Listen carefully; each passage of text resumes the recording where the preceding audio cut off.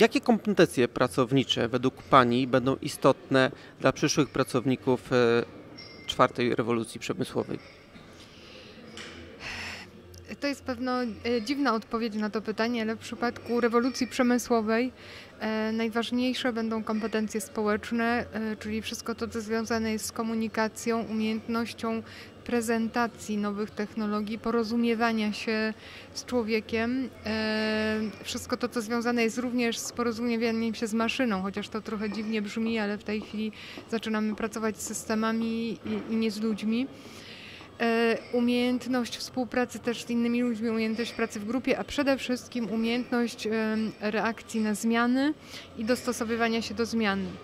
E, no i w, w, taką stronę też powinna e, w tej chwili pójść edukacja i uczenia. Oczywiście nie można odejść od uczenia technologii i takich twardych kompetencji, natomiast bardzo ważne jest to, żeby uczyć ludzi tego, jak należy się uczyć jak należy E, jest takie słowo oduczać się jednych e, zagadnień i uczyć się nowych. E, no tak, bo część osób zostanie odsunięta od maszyn, odsunięta od fabryk, bo maszyny, roboty, automatyzacja przejmie ich funkcje. Ja kiedyś słyszałem, że jeden robot dostarcza pracy dla czterech osób, bo produkuje więcej. Trzeba ten towar sprzedać, trzeba go promować, reklamować. Jak pani by się do tego odniosła?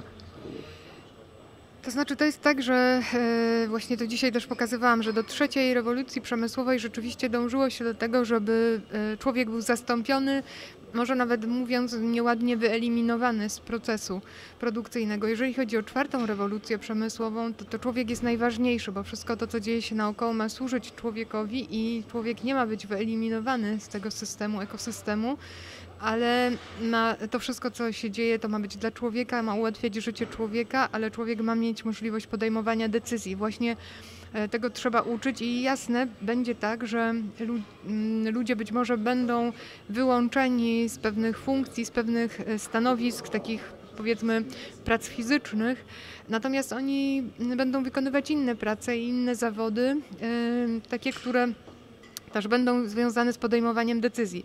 Część tych decyzji y, będzie już w tej chwili jest y, podejmowana przez systemy sztucznej inteligencji, natomiast y, moje osobiste zdanie jest takie, że bardziej przyjmie się poszerzona inteligencja, czyli ta inteligencja współdziałająca z człowiekiem niż, niż sztuczna inteligencja, bo tego się po prostu ludzie mniej obawiają.